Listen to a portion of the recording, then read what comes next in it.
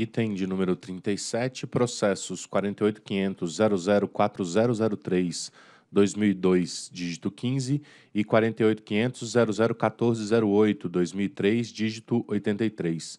Pedido de reconsideração interposto pela Bons Ventos Geradora de Energia SA, em face do despacho número 2392 de 2017, que aprovou a alteração de características técnicas da central geradora eólica Taíba Andorinha, tendo em vista ter sido solucionada arbitrariamente a divergência entre a recorrente e a central geradora Taíba Andorinha SA e deu outras providências. Relator, diretor Tiago de Barros Correia, informo que há dois pedidos de sustentação oral.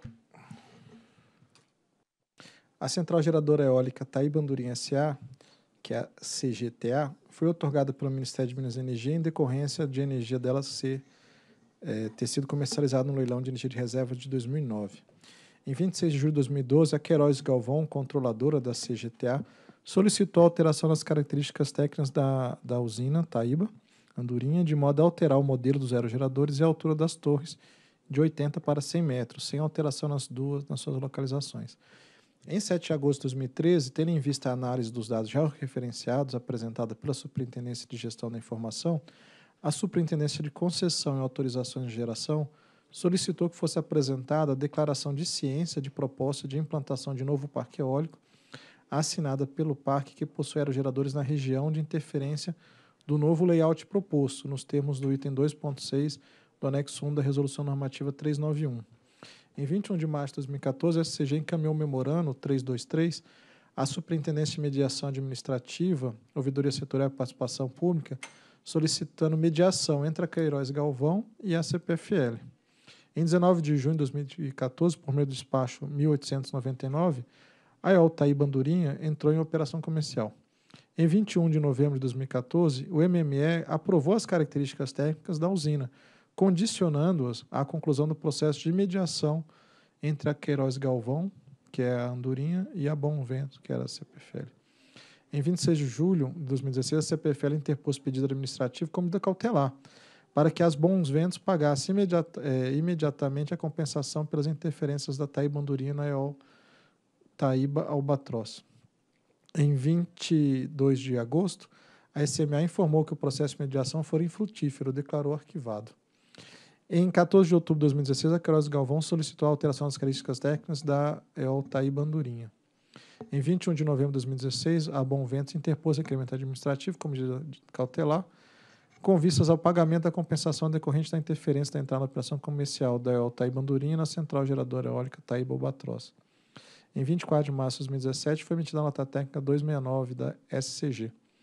Em 7 de outubro de 2017, a CPFL interpôs pedido complementar impugnando a nota técnica 269, combinado com pedido de retirada de pauta e instrução probatória requerendo a nomeação de perito, com vistas à fixação de compensação financeira a quem entende fazer jus. Em 12 de junho de 2017, foi emitido o parecer 209 da Procuradoria Federal. E, mediante o despacho 2392, de agosto de 2017, a resolução autorizativa 6.559, a diretoria deliberou por aprovar a alteração de características técnicas da central geradora eólica Taibandurinha, tendo em vista ter sido solucionada arbitrariamente a divergência entre as empresas e determinar que, enquanto perdurar a outorga de autorização do Altaíba Albatroz, a central geradora eólica Taibandurinha ou a empresa que venha suceder a titularidade da Altaíbandurinha compense energeticamente a perda decorrente da interferência da Altaíbandurinha no montante total de 240,98 MWh ano e determinar que a Câmara de Comercialização de Energia Elétrica estabeleça um mecanismo para alocação mensal deste montante de energia à Altaíba Albatrosa, eh, cedida pela Altaíba Andorinha.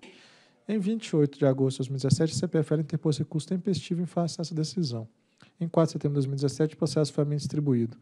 Em 28 de setembro de 2017, o representante da Altaíba Albatroz, controlado pela CPFL, foram recebidos em reunião por minha assessoria, é o relatório. Convido a fazer uso da palavra o senhor Yuri Schmidt Almeida Belchior Si, representante da Bons Ventos, geradora de energia SA. Boa tarde, senhores diretores. Aqui é um cumprimento aqui na pessoa do doutor relator, doutor Tiago Correia, seu procurador, doutor Marcelo Escalante, secretário e demais integrantes. Aqui trata então de um pedido de reconsideração que entendemos que há um aspecto jurídico invencível, do qual a argumentação do voto, inclusive o voto do bloco já está disponibilizado, tanto da primeira decisão quanto da segunda, que já está sendo proposta, é, ela descumpre frontalmente aspectos jurídicos que não podem ser afastados.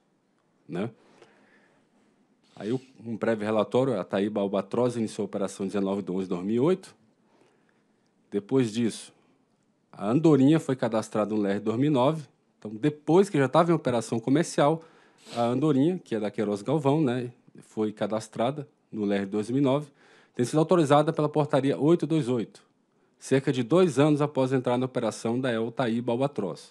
Claramente aqui, houve falha no planejamento da EPE, que, por sua vez, não identificou esse sombreamento e permitiu que um outro parque entrasse em desacordo. A nota técnica da EPE afirma que a EPE entende que tem que haver acordo entre as partes, ratificado pela ANEL, para que sejam aprovadas alterações das características técnicas da El Taíba Andorinha. O ofício 353 afirma que a autorização das novas características técnicas especificadas a seguir fica condicionada à conclusão desse processo em mediação. Então, a autorização estava condicionada, não foi autorizada, é o que está escrito no ofício do MME. A SFG, mediante o despacho 1899, sem aguardar a resposta da SEP-MME quanto à aprovação dessas alterações, que estava condicionada à mediação, não observando, então, o artigo 4, 6 da Resolução 583, liberou as unidades UG1 ao G7 da Taí Bandorinha para início da entrada da operação comercial, já causando prejuízo imediato aí a Bons Ventos, subsidiária da CPFL. Foi instalado o processo na SMA, mas sem êxito diante das irrisórias propostas de compensação da Queiroz Galvão, não estando alternativa a Taíba ou a Troça e não instaurar o presente requerimento administrativo. Foi emitida a nota técnica 269, depois a requerente solicitou o pedido de perícia, em 4 do 4, depois foi lavrado o parecer 2009, 209 de 2017. O item 15 da nota técnica 269 afirma que o MME aprovou as características técnicas, o que não procede, pois apenas restituiu o processo para que a ANEL conclua o processo de mediação. Isso é o que consta na documentação, conforme atesta o parecer 209, nos itens 26 até 34. O item 56 afirma que não cabe à ANEL o papel de qualificar um estudo em detrimento do outro. Todavia, o disposto no artigo 3 inciso 5 da Lei 9427 prevê que compete à ANEL dirimir, no âmbito administrativo, as divergências entre concessionários, permissionários e autorizadas. Então, tanto na, na, Resolução 273 quanto na lei federal, tem aí essa questão de dirimir os litígios entre particulares. O estudo realizado pela consultora independente Camargo Schubert, a partir dos dados operacionais, demonstrou significativo impacto evidenciado imediatamente a partir da entrada em operação comercial da EOL Taíba Andorinha, na geração da EOL Taíba Albatroz, o que afasta, por exemplo, o entendimento que houve interferência com construção civil, com dunas que se modificaram, ou correntes de ventos. Adicionalmente, o estudo apresenta imagens de satélites da região em distintos momentos desde a entrada da operação da EOL Taíba Albatroz, mostrando que não houve modificações significativas no uso e ocupação do solo, na direção a barlavento montante da usina sobretudo à frente das turbinas mais afetadas pela interferência da Taíba Andorinha, e que poderiam afetar negativamente a geração do parque. O impacto de modificações externas ao redor da usina seria progressivo ao longo dos anos, ao passo que os dados apresentados no estudo mostram uma queda súbita na produção da El Taíba Albatroz, a partir da entrada em operação da Taíba Andorinha, o que atesta inegavelmente o percentual de interferência apresentado nos últimos estudos da Camargo. Não dá, senhores diretores, para ficar no mundo teórico. Isso não cabe a uma agência reguladora também descumprir o que a Procuradoria coloca. Olha que o impacto está aqui, evidenciado exatamente a curva, né, a produção né, esperada, né, é o, o, o, dado em cima, e a produção efetiva é o dado vermelho. Somente a partir da entrada na operação que a gente tem um dado consistente. É por isso somente o último estudo da Camargo Chu pode ser utilizado e não pegar todos os estudos e dividir por sete, como supôs a nota técnica, ou então é você utilizar somente em um aerogerador apenas a, a compensação da diferença da altura de 80 para 100, 20 metros. Isso não, não, não é um, o melhor estudo, segundo o aspecto jurídico. Né? Segundo os estudos conclusivos da Camargo, auferidos após mais de um ano de interferência, conclui que 2014 e 2016 houve a perda de 8,6%, ao passo que de março de 2016 em diante estima-se a perda de 7,1%. Por outro lado, os estudos apresentados pela Queiroz Galvão Aeroespacial sequer utilizaram a fonte de dados disponibilizados pela requerente. Isso consta no processo de mediação muito claro. A Camargo se dispôs a entregar esses dados, do qual, do qual a Queiroz Galvão sequer quis acesso para fazer um estudo efetivo de impacto, limitando-se a apresentar supostos defeitos na metodologia dos estudos da Camargo Schubert, no mundo da argumentação é, retórica. E percentuais de interferência sem comprovação efetiva. São estudos questionáveis, na medida que comprova nenhuma interferência efetiva. O item 59 da nota técnica 269 afirma que a interferência teria sido em apenas um aerogerador, o que não é verdade, pois ainda que a área de interferência resultante da alteração técnica tenha abrangido apenas um aerogerador adicional, o efeito decorrente, cascata, né, da troca de modelo do aerogerador causa impacto também naqueles aerogeradores que já estavam na área de interferência definida antes da alteração. A própria SCG, na nota técnica 97, afirma que a alteração proposta pela Altair Mandorim impactará todas as, as suas unidades geradoras. Então há uma, uma, uma argumentação da própria nota técnica, a primeira que foi feita pela SCG, apontando a interferência em todos. O item 60 da nota técnica do M9 propõe percentual de 3,54, o qual resulta da média aritmética de todos os percentuais apresentados. Critérios que não contêm nenhum embasamento científico né, com a realidade dos fatos. Afirmar que a interferência deve ser reconhecida apenas em face da alteração das características técnicas é um equívoco e possivelmente uma ilegalidade, porquanto, mesmo sem alteração, o projeto original da Eltaí Bandorinha afetaria o Parque Albatroz. E isso encontra o disposto no artigo 884 do Código Civil, que veda o enriquecimento sem causa, o ilícito, conforme entendimento também firmado no parecer da Procuradoria, louvável parecer que atendeu a melhor técnica jurídica para essa questão. Portanto, toda interferência deve ser reconhecida, pois a Altair Albatroz entrou em operação comercial antes, no LER 2009. Na impossibilidade da ANEL avaliar tecnicamente os estudos apresentados, a agência tem o dever de deferir o pedido então de nomeação de perito para dirimir a controvérsia, já que a SCG não fez os estudos com base nos dados apresentados, não apresentou a prospecção de dano, apenas é, avaliou os estudos é, e fez aquela média ponderada. Então, é, nós solicitamos a perícia, senhores diretores, com base na Lei 9784, no artigo 38, né, que também é reiterado na Resolução 273, com a mesma redação. A Procuradoria-Geral, analisar o caso, traz a seguinte recomendação, nos termos do parecer 209. Necessidade da ANEL definir o valor da indenização devida pela El Taíba Andorinha a Bons Ventos, considerando o dano provocado a El Taíba Albatroz em toda a sua extensão, não apenas o impacto oriundo da alteração da altura dos aerogeradores da primeira, devendo ser proporcional à perda de geração sofrida pela El Taíba Albatroz, em razão da construção da El Taíba Andorinha, na forma do artigo 944 do Código Civil, podendo ser auxiliado por perito externo, caso entenda necessário, a ser pago pelo interessado nos termos do artigo 34, caput, Resolução 273, que diz a mesma coisa do que a lei federal. Senhores diretores, vejam bem, tem vários precedentes aqui aonde nós observamos que em caso de PCH, de usinas hidrelétricas, onde há uma construção de uma usina a montante, que impacta a, usina que está abaixo, a jusante, há uma, uma, um cálculo desse impacto. E ele, e esses cálculos, esses precedentes dessa agência reguladora estão em acordo com o que a Procuradoria está falando do artigo 944 do Código Civil, do artigo 884, que veda o enriquecimento sem causa, tem que ser indenizado toda a extensão do dano. Não dá para pensar que, ah, não, porque é, se não fosse a, a, o pedido de alteração dos aerogeradores, não haveria dano. É claro que haveria o dano. O dano seria menor, mas o dano haveria. E o dano seria pleiteado a essa agência que tem o dever de dirimir a controvérsia entre os agentes. Houve uma falha de planejamento, que se colocou um parque eólico no local que seria sombreado sem ter um critério de indenização. Então, assim, compete a essa agência, primeiro, criar uma solução que, que, que faça isso, que possa quantificar, definir os parâmetros dessas interferências que possivelmente vêm existir entre parques eólicos, também de PCHs e outros tipos de empreendimentos. E segundo, é, não compete à diretoria, bem disse o doutor Cláudio Girardi mais cedo, os senhores estão com o poder de decidir, poder de um magistrado, de um tribunal, de tomar decisões que possivelmente pode ser questionado ju juridicamente no nome do Poder Judiciário.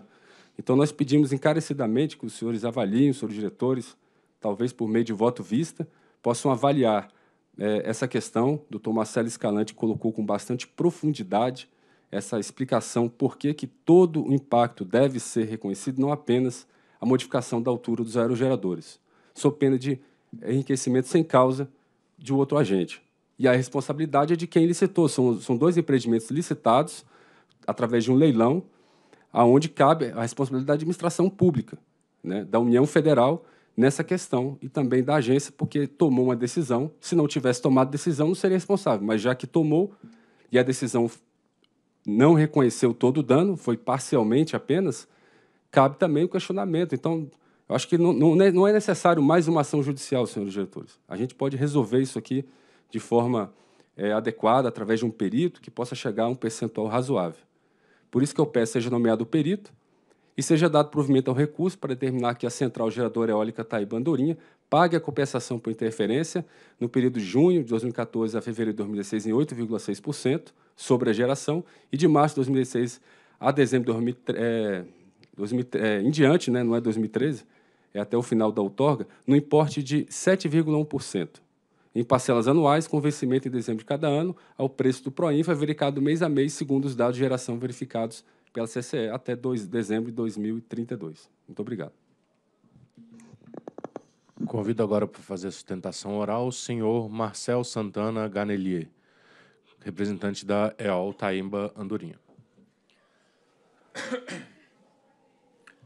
Boa tarde, senhores diretores. Primeiramente, é, é, nós vamos fazer aqui um breve histórico, né, que já foi bem relatado aqui pelo, pelo relator, é, do caso aqui de Itaíba Andorinha e Itaíba Albatroz.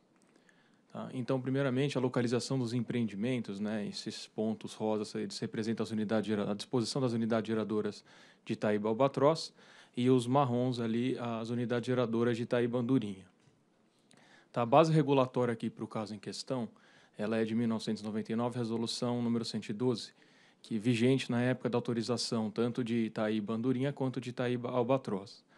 Né? Como foi mencionado, Itaíba Albatroz sagrou-se vencedora no leilão é, da modalidade do ProInf em 2005 e Itaíba Andorinha no leilão de energia de reserva em 2009. Né? Cabe destacar que a resolução número 112 não estabelecia a região de interferência. É, esses parques foram autorizados por um mesmo empreendedor, então, na época, o que se entende é que o empreendedor já havia precificado eventual interferência, mesmo que não previsto, não previsto na regulamentação vigente. Tá? Taíba Albatroz já tinha ciência da implantação do, da andorinha já desde 2004. Tá? Obviamente, a ANEL não solicitou ao empreendedor para obtenção de autorização a declaração de ciência, uma vez que, que isso não existia na época, não era previsto na, pela regulamentação. É, e o edital de, do leilão de energia de reserva de 2009 estabeleceu as condições para alteração das características técnicas, é, que no caso seriam aqui a, a, não alteração da capacidade mínima, a preservação da garantia física e a inexistência de pendências de licenciamento ambiental, que todas foram cumpridas aqui pela, pela Taíba Andorinha. Tá. Essa solicitação de alteração das características técnicas por parte da Taíba Andorinha foi realizada em julho de 2012 em conformidade com, a, com as disposições do próprio edital. Nove meses depois, em abril de 13, foi editada a Resolução Normativa 546, que introduziu a declaração, é, a necessidade né, da apresentação da declaração de ciência dos proprietários dos parques eólicos. Né. Essa declaração que passou a ser exigida por parte da ANEL aqui para aprovação da alteração das características técnicas. E também, né, posteriormente, tanto a ANEL quanto o MME entenderam que, que a, seria condicionado a aprovação dessas características técnicas a um processo de mediação. Tá? Esse processo se iniciou em março de 2014 e a partir desse mês a Queiroz Galvão, aqui em nome da Taíba Andorinha, fez algumas reuniões com a, com a CPFL, com a Taíba Albatroz. O que nos, nos chamou a atenção foram os valores inicialmente apresentados em torno de 500 mil reais é, solicitados né, com, na forma de um ressarcimento ou indenização. E esses valores foram recorrentemente é, aumentados até o valor de 25 milhões, o que não nos pareceu razoável, posto que as premissas não foram devidamente apresentadas ou esclarecidas. Tá? Em julho de 2016, é quase no término do período aqui do, do processo de mediação, Taíba Albatroz protocolou um requerimento administrativo com pedido de medida cautelar, é, solicitando então o pagamento da, comp da compensação que entendia ser devida. Tá? A, no, a, em agosto de 2016, a, a própria ANEL é, arquivou o processo, tendo em vista aí o, o não, a não convergência de, de opiniões das partes envolvidas no processo de mediação. Tá? Durante todo o processo de mediação que foi conduzido pela ANEL, nós enfrentamos algumas dificuldades em termos de, de entender o racional que foi apresentado pelo, pela, pela Traíba Albatroz, é, solicitando valores que para a gente não estava fazendo sentido. Então, nosso, a nossa percepção é de que a gente não chegaria a um acordo amigável e que os valores, de fato, não seriam sequer razoáveis no nosso ponto de vista também. Tá? Nós apresentamos um layout técnico que demonstrou alguns fatores é, que poderiam impactar, eventualmente, a produção de Itaíba Albatroz né, seja a disposição das máquinas, das unidades geradoras que se observa na região, naquela região do litoral do Ceará, que ela não está na, na posição favorável ao direcionamento preponderante de vento. Né, isso pode impactar a geração do parque. Um segundo item, a turbulência aerodinâmica entre os, entre os aerogeradores de Itaíba Albatroz, tá, alteração de relevo, dunas, novas edificações que poderiam impactar também a produção, e a baixa disponibilidade dos aerogeradores. a Queiroz Galvão se, se mostrou né, contrária em relação a qualquer tipo de ressarcimento, posto que tanto na época da, da concessão, da, perdão, da autorização em 2002 e 2004, é, os requisitos legais, os requisitos regulamentares estavam plenamente atendidos, quanto na solicitação de alteração das características técnicas em 2009, também plenamente atendidos na época. Né? O regramento passou a viger é, a partir de 2013, com, com algumas declarações, Ainda assim, a, a, a diretoria da ANEL, na sua 29ª reunião, é, deliberou aqui no primeiro, no primeiro item né, a aprovação da alteração das características técnicas. Tá? No segundo item, entendeu que, que a alteração de, dessas características técnicas provocou, é, vamos dizer assim, um prejuízo né, que foi calculado aí com base num, numa interferência incremental, gerando aí um valor a ser ressarcido por parte de Itaíba Andorinha, no valor de 240,98 megawatts-hora ano, e determinou que a CCE fizesse, então, esse, operacionalizasse esse mecanismo de alocação mensal. Grato, senhores. Obrigado. Procuradoria.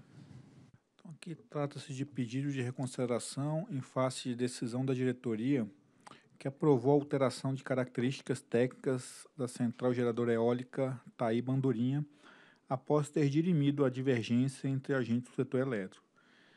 E aqui não há fato novo ou circunstância relevante que justifique a reforma da decisão impugnada. Ao contrário, há aqui uma, uma mera eh, discordância com o resultado do julgamento. A decisão colegiada apreciou motivadamente todos os pontos controvertidos do processo, tendo expostos os fundamentos jurídicos necessários para a solução da controvérsia. E com relação à perícia, a Procuradoria deixa claro que a manifestação exarada nos autos foi no sentido de que a agência pode ser auxiliada por um perito externo a ser pago pela parte interessada, né? A, a resolução 273 permite essa, o auxílio do perito, mas a, a perícia ela não é obrigatória. Né?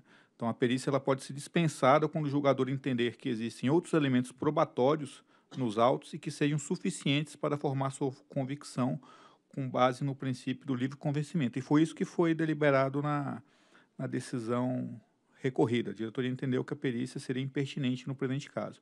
Então, assim, a Procuradoria opina pelo conhecimento e desprovimento do pedido de reconsideração. Senhores, o voto já constava do bloco, então eu vou só fazer um resumo.